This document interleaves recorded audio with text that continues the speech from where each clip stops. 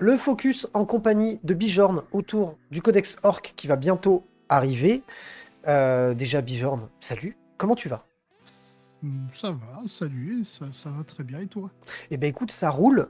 Est-ce que ce Codex Orc te paraît euh, de bon augure Est-ce que, est-ce qu'il te paraît bien parti? Est-ce que tu penses, est-ce que tu penses qu'on va pouvoir en faire quelque chose? On va pas parler du Custodes aujourd'hui, parce que je pense qu'il y aura beaucoup euh, d'avis qui, qui, risquent de, pleuvoir et de ça risque de pleurer dans les chaumières.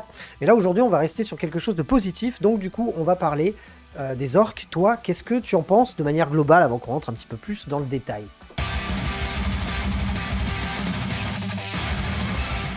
De manière globale, il est extraordinaire. Vraiment. Très très bon, ça doit être un des codex les mieux écrits euh, de la V10. Ah ouais, clairement. Ouais, ouais, ouais, je, je balance ça comme ça. Ok. Mike. Non, vraiment, en fait, outre l'aspect compétitif, parce qu'on va le voir, il y a beaucoup de choses, il y a, il y a- il y a beaucoup de, ouais, de, de choses à tester dedans, euh, des stratégies très variées, et on a même des thématiques potentiellement qui peuvent être exploitées. Donc, enfin, on le verra, mais on peut très bien partir sur de l'orgue d'élite, de l'orgue euh, mhm. horde, de l'orgue mécanisé. Enfin, peut vraiment faire beaucoup de choses. Ouais, Games Workshop, on a compris là depuis un moment, ils commencent vraiment à, à écrire leur codex un petit peu, euh, euh, un petit peu comme j'aime, même si bon, il y a des déceptions sur plein de choses. Mais euh, on est vraiment à chaque fois, je trouve qu'à chaque fois, ils proposent de faire des armées à thème selon les détachements. Euh, du coup, ça, ça Mm. permet vraiment d'avoir des gameplays différents au sein d'une même armée. Et si tu as une grosse collection, tu es content parce que tu vas pouvoir un peu switcher, pouvoir un peu jouer ce que tu veux euh, selon les parties, selon les adversaires. Euh, donc moi j'aime bien. Est-ce que tu, est-ce que selon toi, je vais pouvoir ressortir mes 120 boys? Très, très largement, et il te faudra peut-être un peu plus. Ouais, bon, non, non, c'est bon, j'ai assez donné. 120, c'est bon, j'ai peint 120 boys, voilà. Je... C'est des anciens en plus. Je ferai pas 120 nouveaux et encore moins euh, 180. Euh, mais euh, 120, on peut pas en mettre plus de 120 parce que les unités sont de 20 figurines Euh, et tu ah, peux avoir oui, 6, c'est vrai. fois, ouais, 6 fois 2, 12. Non, Euh, mais ouais. c'est vrai que c'est 20 figurines. euh, Et oui, avant, on en jouait tête, 30. euh, qu'ils étaient 30. Et oui. Mais oui, non, non, ils sont 20, et c'est très bien à 20. Oui, hein. Dé- Déjà, je pense que si tu as 120 boys, donc 6 escouades de 20, je pense que déjà tu transpires à chaque phase de, de mouvement. Donc, euh, c'est pas nécessaire de, de- de charger encore plus. Euh, ok, est-ce que. Alors, moi j'avais quelques petits trucs euh, euh, qui avaient été, Ouais. euh, qui avaient été partagés par, par Games Workshop. Alors, attends, je vais nous mettre par là. On que avait. tout le codex a, a été leak. Donc, oui, oui, oui, toutes les questions. Ah bah forcément, mes images sont plus présentes. Bravo Félix. Elles étaient déjà là de du live d'avant et elles ont dégagé. Bravo. Bon, c'est pas grave. En Ah soi, euh, j'ai noté que grosso modo, le, le détachement qui allait être orienté sur la masse et sur le boys, et, not- enfin, et la, le- que la WAG n'avait pas été modifiée, mais que le détachement euh, un peu, on va dire, orienté goff, selon moi, euh, allait vraiment, vraiment, vraiment favoriser les gros packs de, de- de- les gros packs de boys qui tapent dur, quoi. Alors, attention parce qu'on a toujours en fait le détachement. Donc celui de l'index, maintenant, c'est euh, dans le codex, il s'appelle War Horde. Et on y retrouve pas mal de mécaniques euh, qu'on connaît en fait. Ouais, qu'on avait déjà. Euh, c'est ça. Ok. Et sinon, celui dont tu parles avec beaucoup de boys, c'est la Green Tide, donc du coup la, la marée verte Mhm. qui revient. Et vraiment, elle a des outils qui sont excellents. Clairement, j'ai vu des stratagèmes, enfin, notamment un. Alors, j'ai plus tout en mémoire. hein, Je vais te laisser, euh, je vais te laisser dérouler, euh, je vais te laisser dérouler là-dessus. Euh, qu'est- Qu'est-ce qui, selon toi, euh, va, va nous, euh, va nous faire changer d'avis par rapport au détachement, on va dire, de base? Qu'est-ce qui, selon toi, euh, a vraiment de l'intérêt euh, pour aller chercher éventuellement autre chose que euh, ce qu'on a l'habitude de jouer en index? Hmm. En fait, à l'heure actuelle, la question qu'on se pose sur, euh, sur cette Green Tide, c'est qu'en fait, vu qu'on est limité aux boys dans tout l'aspect de leur, euh, de leurs règles, des personnages qui vont pouvoir rejoindre, de l'efficacité de, euh, de certains stratagèmes qui sont très ciblés sur les boys à chaque fois. Donc, si on n'a pas le mot-clé boys, oui, oui, c'est finito. Et oui, autant oui, dire que les, euh, les Beast Naga Boys n'ont pas le mot-clé boys tout seul. Pour Oui, pouvoir, heu, donc en là, on est aussi. ouais, on est vraiment obligé, on peut pas jouer d'Alpager, on va vraiment jouer les boys de base, quoi. Enfin, on peut pas, on peut, des mais beaucoup moins de stratagèmes qui vont pouvoir leur être, heu, leur être positifs, quoi. C'est ça. Donc du coup, après, il faut faut regarder, bah, qu'est-ce qu'on peut faire justement avec les boys? Parce que finalement, on va être quoi? Sur de la force 4 ou 5 globalement? Oui, c'est Donc ça. ça veut dire, il faut aller chercher de la touche fatale? Potentiellement regarder est-ce qu'on aurait de la relance de jet de touche potentiellement, Oui, pour pouvoir fiabiliser tout ce qui est, heu, touche fatale, touche soutenue et cetera? complètement. Ou est-ce qu'on a, heu, des stratagèmes par exemple qui vont donner un plus un pour blessé? Ou en tout cas voilà des des outils qui vont permettre d'avoir un impact? Parce que jouer une marée verte pour une marée verte, sans, heu, réussir à à gérer Oui, les les ressources adverses, complètement, ouais. en Oui, fait, taper à de la force pas 4 un ou 5 sur du véhicule, si tu as pas un plus un blessure, ça va commencer à être compliqué, quoi. En fait, si tu as, si tu pas de capacité d'attrition, un minimum au moins, heu, c'est très compliqué, Mmh. très, très compliqué. Alors après, vous aurez toujours les outils de base.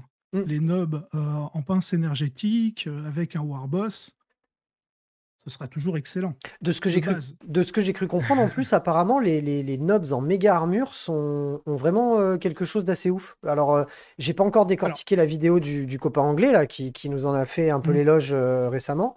Mais appa apparemment ça, ça deviendrait, heu, ça redeviendrait, parce qu'à un moment c'était déjà assez fort, hein, ça redeviendrait apparemment assez énervé, quoi. oui, oui, ça va être très, très bien, mais dans le détachement, bully, pas du tout dans la Mmh, green tide. mmh, mmh, mmh. Parce que justement, heu, le détachement bully est très orienté vers les nobs, les méga nobs, les warboss. Parce que tu peux lancer une deuxième wag, Ouais. donc avoir toute ton armée, heu, pendant 2 tours qui sont invulnérables à 5+, juste avec le principe même de la règle wag, c'est énorme. Ouais, clairement, clairement. C'est juste énorme. Heu, donc ouais, ouais, non, il y a il y a énormément de choses dans tous ces détachements. Tu as le, le speed free enfin le culte de la Ouais, vitesse j'allais te demander, heu, parce que j'ai pas encore regardé à ce niveau-là. Est-ce qu'on a un moyen de jouer vraiment ces speed freaks, quoi? Parce que même dans les derniers builds où on a vu beaucoup en fait, les derniers builds où il y avait beaucoup de mécanisés, c'était des trucks et des battle wagons, quoi. On voit on voyait on on les on les voit plus les buggy, quoi. c'est ça, c'est ça. Alors oui, c'est toujours jouable. Après, c'est pas forcément le détachement le plus performant, mais il Mmh. a quand même pas mal d'outils qui qui sont très, très intéressants.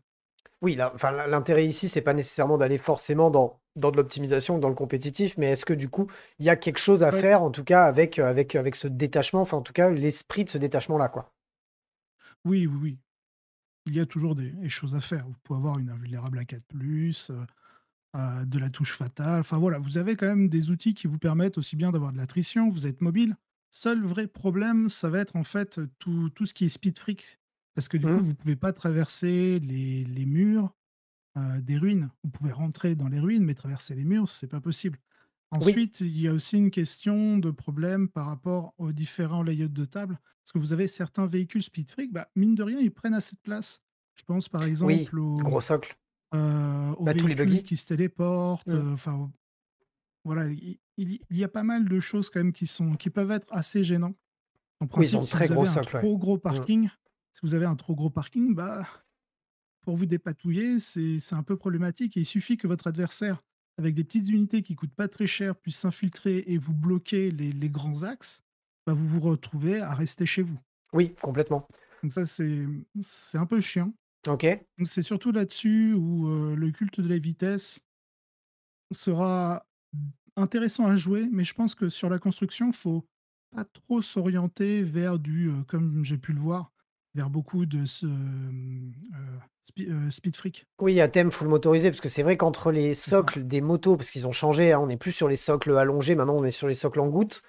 Heu, Mmh. pareil, les les les buggy sont tous sur des énormes socles, ovales.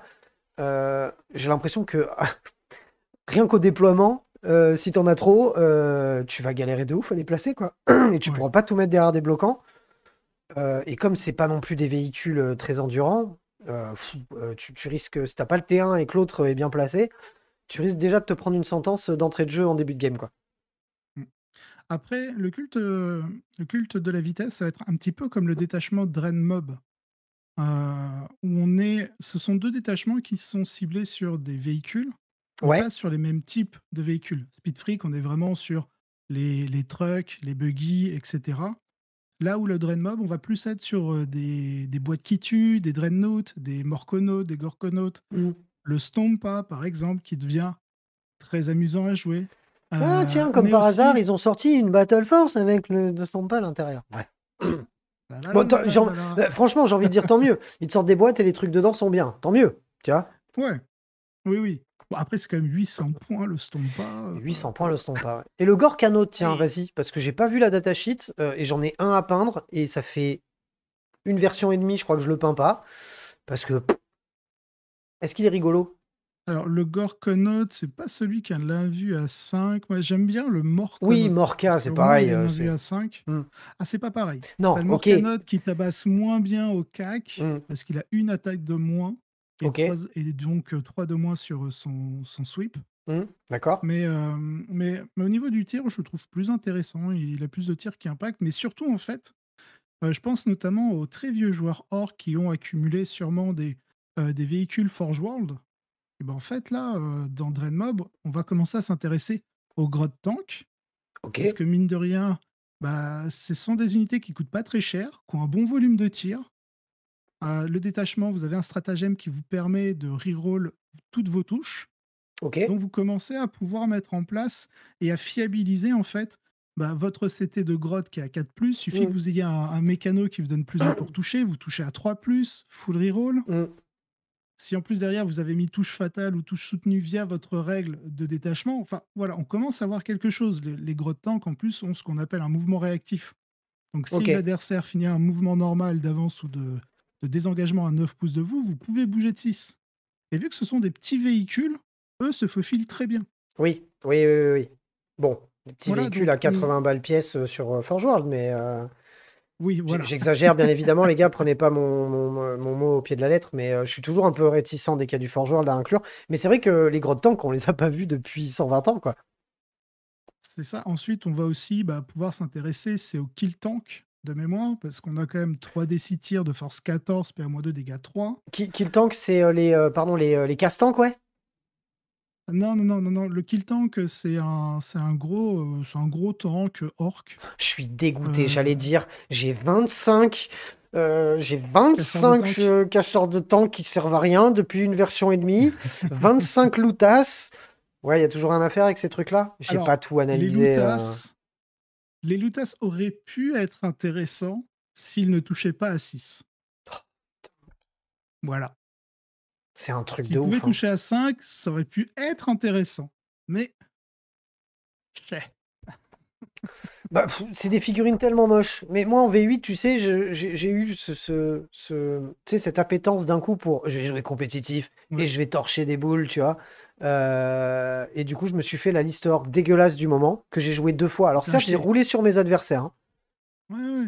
Mais je me as suis peint 3 shock attack gun. bah, j'ai peint 120 Voilà, boys, tu as 3 shock attack gun, 60 Gretchin, 25 Lootas, 25 casse tank. C'était absolument pas drôle à jouer, mais j'ai roulé sur mes potes, heu, sur 2 parties. J'étais content, j'ai peint 200 figurines et 3 mois après, heu, ça ne marchait plus. Ouais et puis, heu, bon là, je je parle de Dreadmob parce que je sais que, par exemple, Razor Cross est dans le chat Mmh. et avec, heu, quelques autres membres de mon Discord, heu, ils ont beaucoup discuté dernièrement sur une liste Dreadmob, heu, en utilisant les coûts codex, Ouais. en attendant qu'on ait les les coûts réels Oui, oui, oui, parce que ça ça et apparemment, va y avoir une data slate là dans les proch dans les 2-3 prochaines semaines là. alors non, alors de ce que j'ai compris, après ça reste à l'état de rumeur, hein, Mmh. mais d'ici peut-être quelques jours ou peut-être d'ici une semaine, une semaine et demie, on aurait des des modifications en points OK. et un peu plus tard Ouais, d'accord, ça sortirait pas en même temps. OK. Après c'est entre ce qu'on dit et ce qui se Oui, passera, oui, il y oui, a bien toujours sûr, une différence. Mmh.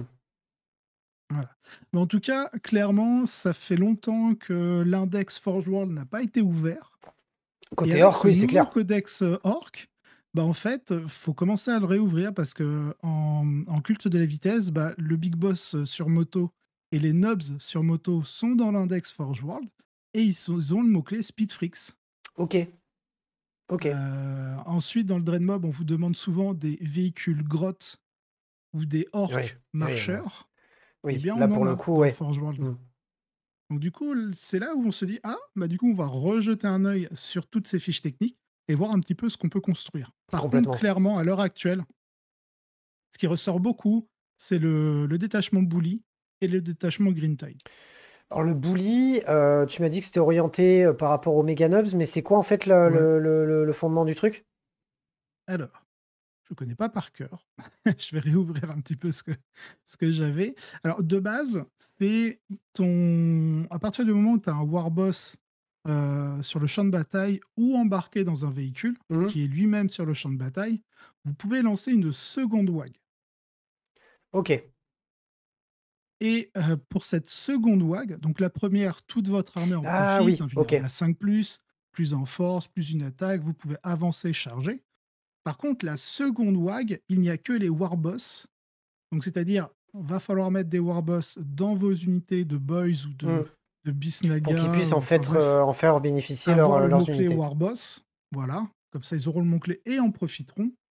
Ou alors faut être Nobs et Méga Nobs. OK. Voilà. Oui, donc là, oui, oui, oui, du coup, heu, Nobs à moto, Nobs à Nobs normaux à pied, Méga Nobs, j'allais dire Nobs sur Squidcrazer, mais non, ça, ça existe plus. Oui, OK, d'accord. Bon, ça ça restreint quand même un peu au niveau des choix. Je sais pas ce qu'il y a de ce côté-là en termes de stratagèmes. Est-ce que c'est des stratagèmes qui vont aussi se du coup, s'appliquer qu'aux Nobs? Alors, pour la plupart, oui, ça va être. Nobs ou Méga Nobs. OK. C'est tous. Ouais, donc c'est très, très, très, très, très orienté pour le coup. C'est ça. OK. Donc on va en avoir qui vont vous permettre de fiabiliser votre phase de tir ou votre phase, heu, de cor de de combat, Mmh mh. car vous allez pouvoir gagner une relance des 1 pour toucher ou alors, si vous êtes sous wag et là, quand à à souvent ça va être, on vous donne un bonus et si vous êtes sous wag, vous avez un bonus encore meilleur.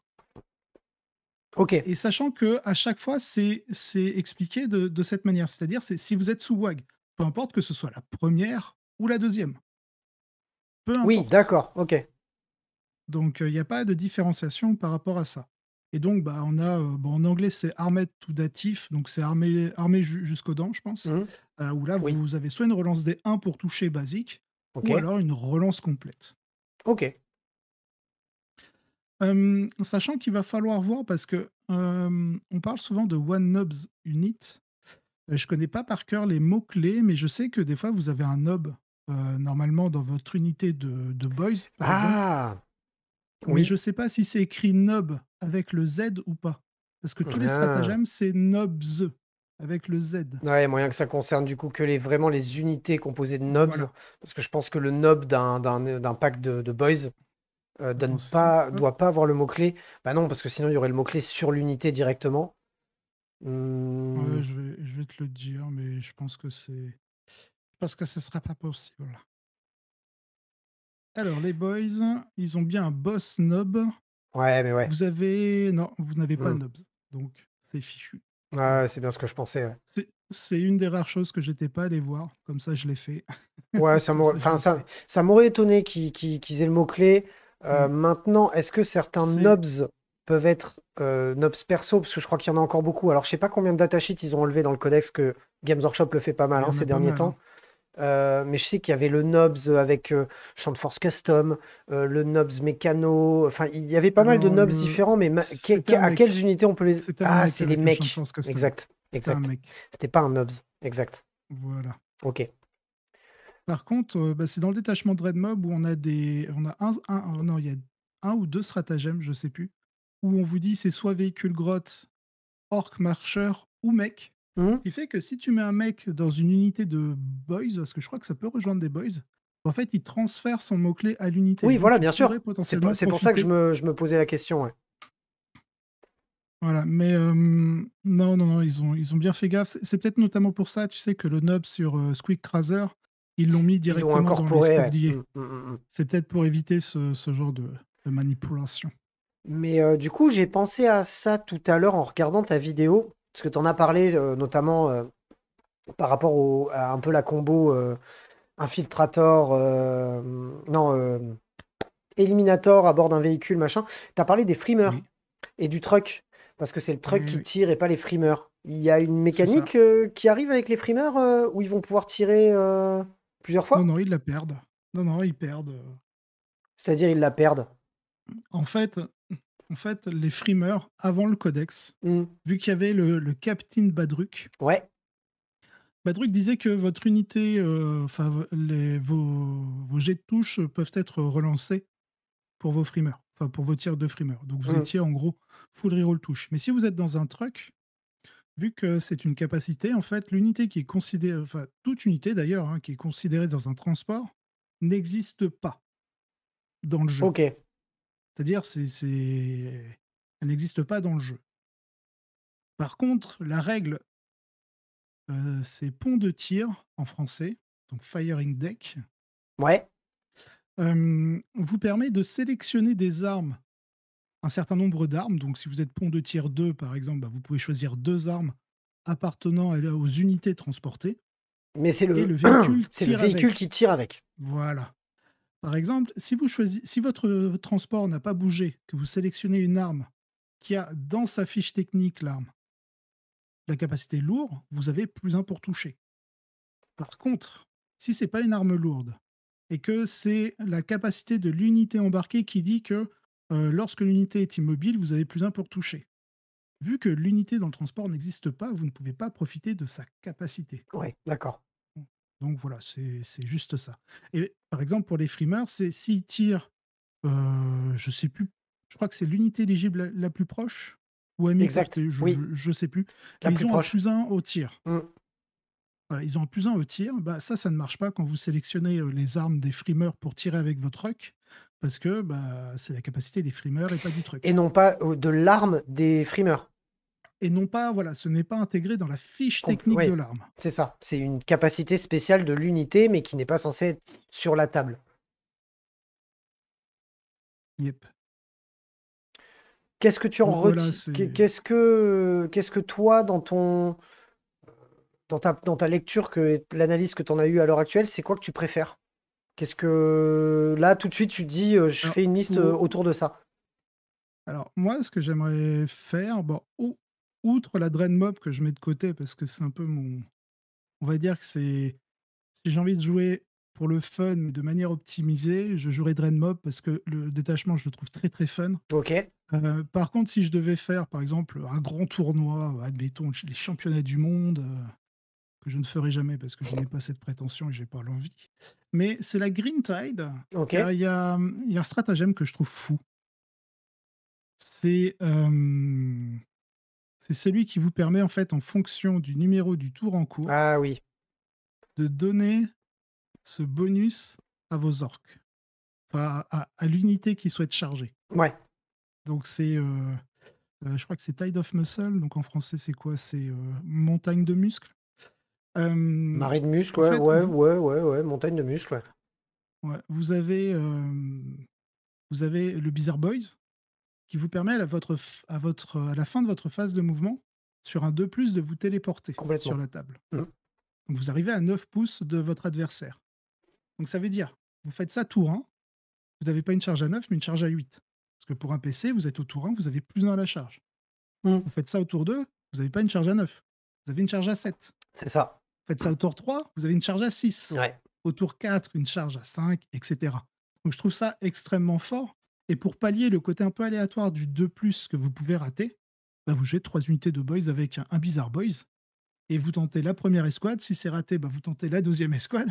Si c'est encore raté, vous avez pas de chance, mais vous pouvez retenter avec, heu, la 3e escouade. Oui, j'allais dire, tu peux aller jusqu'à 6 escouades, mais tu ne peux avoir que 3 Bizarre Boys. Donc forcément Exactement.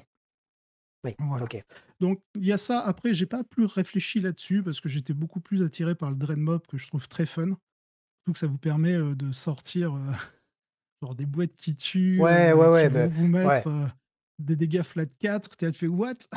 Non, mais c'est le genre Pardon?» de c'est le genre de figurines en plus que je me suis toujours dit: «Putain, je les trouve trop stylés, j'ai trop envie de les jouer», mais c'était Bah vraiment oui. heu, les trucs nuls, j'en joue, mais là, c'était vraiment, vraiment, vraiment, vraiment très, très nul, quoi. Donc là, ouais, ça donne, Bah, ça donne vachement plus envie de les sortir, quoi. Quand tu commences à voir, heu, 6 boîtes qui tuent, qui te tirent à la roquette, heu, dégâts 4, qui ont +1 pour blesser, heu, qui reroll touches, tu fais: «Touche soutenue?» Là tu «Heu, pardon?» Et ouais, j'aurais dû peindre ça. C'est mieux que des casse-tanks, hein, pour, tuer des tanks, hein, de toute façon, hein, donc À l'heure actuelle, ouais. Ouais, ouais, ouais. Ouais, moi j'ai trouvé ça vraiment sympa. Enfin, en tout cas, au niveau de l'écriture, c'est vrai que j'ai beaucoup aimé l'écriture du Codex d'Arcangel, même si bon, il est pas méga fort, hormis, par rapport à certaines entrées, qui fait que le Codex d'Arcangel est fort, mais en fait, il y a quasiment rien d'Arcangel dedans.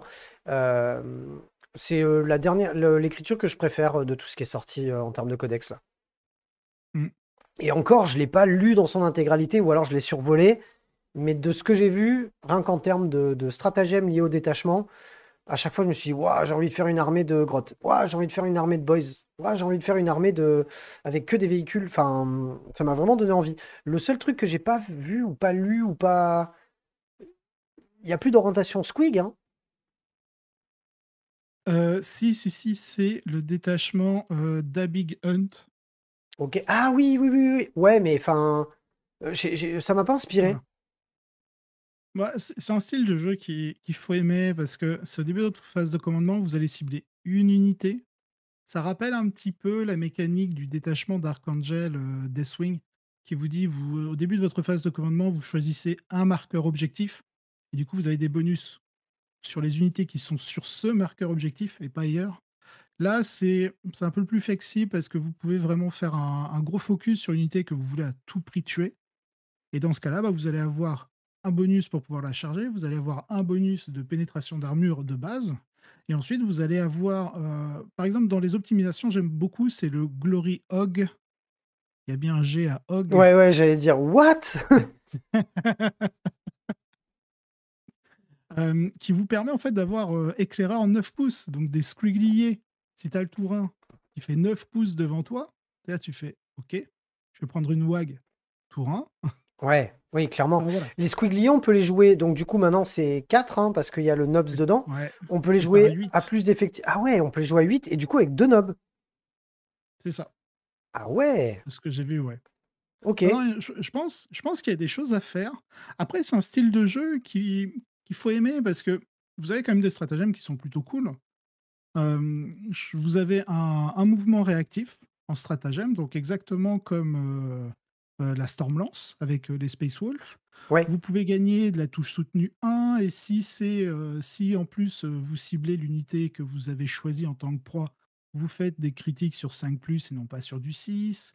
Enfin, voilà, vous vous avez vraiment pas mal de de choses qui sont intéressantes et qui sont très orientées, Beast Snaga. Donc pour les plus anciens joueurs, c'est un peu l'aspect orc sauvage, Mmh. en fait, de du du codex. Donc c'est un style de jeu particulier, faut faut l'aimer, au moins il existe, heu sur et ça peut permettre aux gens qui aiment les les armées thématiques. Moi, je vois, heu, c'est Razor-Cross qui s'était converti une armée avec, des anciens kits de sang-froid, Ouais, elfe tu peux faire ouais, tu peux faire des faire des orcs Il y a plein de sauvages, vois? Ou aussi pour faire plein de trucs de ouf, mais Mmh. par contre, pour le coup, ça concerne que cette escouade-là et éventuellement peut-être le chariot là, le la boîte le chariot qui Heu, tu tue, carriole ouais, qui tu auras le tue, heu kill rig. Ouais, le kill auras le rig. kill rig, le rig, heu, les Beast Naga Boys, parce qu'ils sont Beast Naga. Oui, Beast Naga, donc oui, ça va oui, d'accord, ça va les incorporer ouais, tout heureusement. voilà et tu as tous les chevaucheurs, heu, de Squig, en fait. Mais tous les chevaucheurs de Squig, il y a qu'une unité? Bah, tu as le Warboss sur Squigosaur, tu as Mozzrog Ah oui, exact, sur exact. son Squigosaur aussi, ça marche. Exact, c'est vrai. Heu, si on part sur les unités Forge World, bah, vous avez les Squigots, si vous voulez vous vous amuser Oui, ouais, avec. ouais, si tu as envie de peindre un éléphant, heu Ouais, OK. Les fixes sont classe. Ouais, c'est vrai que j'avais pas pensé Mais au Warboss sur Squigosaur. Je viens je de recevoir voilà, tu vois, un c'est je viens de recevoir un proxy en plus de de, de boys sur Squigosaur là, mais vraiment c'est un dinosaure le truc, il est trop stylé. Je je je vais Oui. le peindre pour le le rapport de bataille que je fais en orc, donc heu, ouais, ça me Et chauffe bien. Mais bon là, il faut ouais, il faut faut plus de squig, quoi. Pour pour justifier en fait l'utilisation de ce détachement. En fait, clairement bah, quand, clairement, en le survolant, ça m'a fait penser au ça m'a fait penser aux Croots, en fait. Ouais, mais heu, moi je vois plus comme la Stormlance des Space Marines. Mmh. C'est-à-dire qu'elle est designée pour les Space Wolves, clairement. Ouais, ouais. celle-ci est designée pour les Squig. Mmh. Bah, tu joues 3 unités de 8. Oui, là, es sûr oui, oui, 3 c'est sûr. de Mmh, loup, clairement. en en Space Wolf. Là, tu dois jouer 3 unités de de Squig.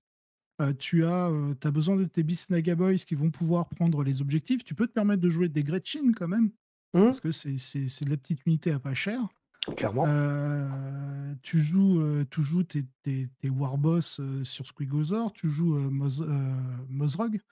Enfin, Ouais, le personnage nommé sur son Squig. les les, déjà tu commences à avoir une marée verte et rouge qui qui est qui oui. qui est plutôt cool. Ah oui, clairement. Les, les Gretchin ont de l'objectif contrôle? Non, hein? Heu, oui. Si, si, si, si, ils ont ils ont je je crois que maintenant ils ont 2. Avant, je crois qu'ils avaient 1 ou alors c'est sérieux? je te je te dis ça. Oh, ça serait f Ah, serait tu as le as le Wurboy aussi qui, qui est qui est un Bisnaga. ah, le Weird? le OK. Ouais, Ah oui, parce qu'ils en avaient sor Wurboy. oui, il y en a 2. Oui, oui, il y en a 2. Ouais. Exact. C'est ça, tu as aussi, heu, Zodgrog, je crois qui est ah non, non, non, Ah, le le mec avec ses dreadlocks, en bataille Ouais, non, là, non. heu Non, non, il est Wartsnag. OK. Donc il a pas il a pas les mots clés. Par contre, je suis en train de te regarder, les Gretchin ont 2 d'objectif contrôle. OK. Donc en fait, ce Voilà qui et en plus, sur 4+, ils peuvent te faire gagner un PC, donc tu as un bon! Tu générateur, es heu, sérieux? à point de commandement. Bah, c'est en fait, s'ils contrôlent un objectif au début de ta phase de co, tu lances un dé et sur un 4+, tu gagnes, un Ouais, mais tu vas Donc tu les pas m tu les mets tes grottes oui, mais tu les tu systématiquement sur l'objectif que tu as chez toi et tu es content, quoi. Voilà. Ah ouais! Ah, mes 60 grottes, ils vont servir à quelque chose. Ah, j'ai déjà eu une petite idée de liste. Par contre, le seul truc que je vois pas trop, Ouais. réédité en tout cas sur ce ce ce nouveau codex, vraiment pas du tout, c'est, le le délire Snakebite. Les les commandos, tu les places où Les là-dedans? commandos, non. Bah, c'est une unité d'infiltration, Oui, ça bien sûr, donc mais est-ce est-ce que tu arrives à les placer dans un mode de jeu un peu, associé ou non, c'est l'unité d'infiltration que tu mets un peu partout? Non, non, c'est ça, c'est une petite unité d'infiltration qui va te permettre de faire, heu, déployer les balises, par exemple. Mmh, mmh. Bon, c'est pas plus heu, mal. On voyait on voyait systématiquement, beaucoup trop de beaucoup trop de commandos tout le temps. Donc Ouais. oui, c'est Ouais, pas plus mal qu'ils fassent un peu tourner le jeu, ouais. cassé parce que ouais, parce que tu vois, ils ont ils ont pas le mot-clé boys, donc tu peux même pas en Ah profiter, ouais, heu d'accord. Ah oui. Donc ils sont ni alpagueurs, ni boys? C'est ça. OK. Ah oui, Bah, ça va être comme je pense, heu, tout ce qui est, heu, les Cram Boys, heu, parce que c'est Cram Boys, leur mot-clé, c'est Oui, pas juste oui, boys, oui. donc ça marche pas. Les Storm Boys, c'est pareil, c'est. Storm Boys, c'est pas boys Ah oui, donc ces mecs-là sont beaucoup moins justifiables qu'avant, quoi, au final? Les les, heu, clairement les les, heu, alors moi j'en avais jamais eu dans mes listes, mais heu, les, les flammeurs, on je les ai vus beaucoup là, ces derniers temps. En orc, j'en ai pas vu tant que ça, moi. Ah, c'était peut-être en V9 alors, où j'en avais vu j'en avais vu V9, pas ouais. mal. Donc Donc ouais, ces ces ces unités-là sont se perdent un peu au final. Tu et j'ai oublié dans les Bisnaga, tu as le Warboss à pied, Bisnaga aussi. Oui, complètement. Oui, avec son avec sa grosse épaulière en os là, heu, ouais, je le vois, ouais. Et là, je suis je suis en train de remonter, il y a aussi le Pain Boss qui est Bisnaga, donc l'espèce de de Pain Boy, mais version, heu, sauvage. Ouais. Une figurine qui est très classe en plus. Oui, complètement et pour, heu, bah, Pépichot qui po qui pose la question justement, on on venait de d'aborder le sujet. Sur les commandos, et Sneakrot, comment tu les joues? Bah, justement, s'ils ont aucun des mots-clés j'ai envie de dire, il y a pas vraiment de manière de les jouer, mais en fait, tu les joues où tu veux, hein, du coup. Ah bah, oui, oui, tu En les joues fait. où tu veux, Mmh. co comme tu veux et dans ce que tu veux. Sauf qu'ils bénéficieront très peu souvent des stratagèmes liés aux détachements les ça. plus les plus les plus spécifiques, C'est quoi. ça. En fait, faut faut simplement voir les mots-clés. Si tu joues Greentide, tous les tous les stratagèmes sont à base de mots-clés boys tout court, Oui, donc là, c'est mort, en ils ont pas le mot-clé boys. Par contre, à voir dans d'autres, heu, dans d'autres, dé détachements. En fait, Mmh. heu, toutes ces unités-là de commando et cetera, ce sera forcément dans le War Horde, parce Oui. que là, il y a pas forcément de mots-clés spécifiques. Voilà, voilà. OK. L'intérêt de de c'est qu'il a, une fois par bataille, la capacité de, mmh, bah, au lieu de faire un mouvement normal, de se retirer, du champ de bataille Mouais. Et d'arriver à 9 pouces, de toute figurine ennemie. Ouais, ça Donc ça p gros, ouais, ça c'est pour le mal. scoring, c'est Mmh. pas mal. Mmh mh mh. Ça peut être un levier, ouais, effectivement. À pas oui, à pas à pas négliger, ouais. Après, j'ai envie de dire, heu, vu qu'il est agent solitaire, Sneakrot, tu peux juste jouer Sneakrot. Si c'est Oui, en fait, tout scoring, seul. Mmh. lui Clairement. Oui, oui, bah, comme heu ça, il est encore plus facile à poser. C'est ça. Donc heu, tu as besoin juste d'un petit trou de souris et tu le tu le poses. Alors que s'il y a 10 mecs derrière, oui, forcément, c'est plus la même, quoi, sur le sur le la map, quoi. Très bien, bah écoute, heu, merci pour, heu, merci pour tes retours sur le le codex orc. Je pense qu'on a un peu englobé dans dans les grandes lignes, hein, parce que c'est ce qu'on fait dans la Wargaming, on rentre pas dans le dans l'ultra spécifique. Mais en tout cas, je suis content d'avoir eu ton avis sur le sujet, ça me donne envie de de faire plein de listes, parce qu'en plus, pour le coup, des boys, enfin des orcs, j'en ai vraiment beaucoup. Donc du coup, heu, ça va me permettre de de de m'orienter au niveau de ma liste. En tout cas, je te remercie Bijan d'avoir répondu à toutes mes petites questions.